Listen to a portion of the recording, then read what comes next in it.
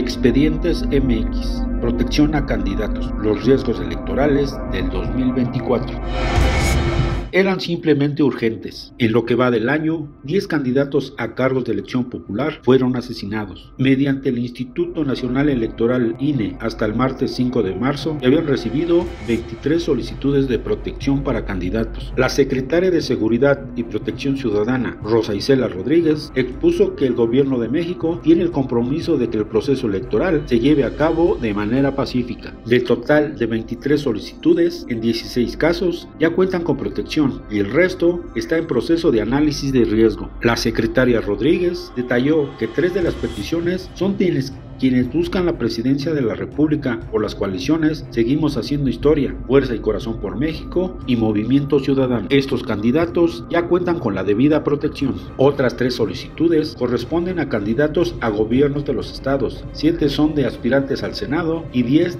de quienes buscan una diputación federal. En concreto, el gobierno federal está a cargo de la protección de candidatos a la presidencia de la República, a las nueve gobernaturas estatales y al Congreso de la Unión. Los gobiernos estatales y municipales, por su parte, tienen como responsabilidad la seguridad de quienes aspiran a puestos de elección popular de carácter local. Se reveló que en la Secretaría de Seguridad hay una mesa permanente que opera las 24 horas los 7 días de la semana con el propósito de vigilar y dar seguimiento a la estrategia conjunta con el INE. De esta manera, el gobierno de México está pendiente de las solicitudes para que sean atendidas de inmediato. El gabinete acordó con el INE y en apego a la Ley General de Instituciones y Procedimientos Electorales un protocolo en materia de seguridad. El INE comunicará esta solicitud a la Secretaría de Seguridad y Protección Ciudadana a fin de establecer la adecuada coordinación con la Secretaría de la Defensa Nacional o la Guardia Nacional.